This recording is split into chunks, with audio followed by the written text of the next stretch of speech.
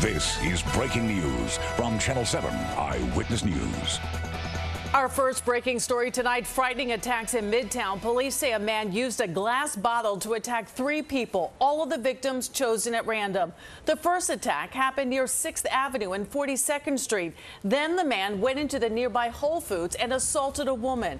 The third attack happened when the man made uh, got on a, some subway car by Rockefeller Center and assaulted another woman. All of the victims were taken to the hospital to be checked out. Police have made an arrest. No charges at this point.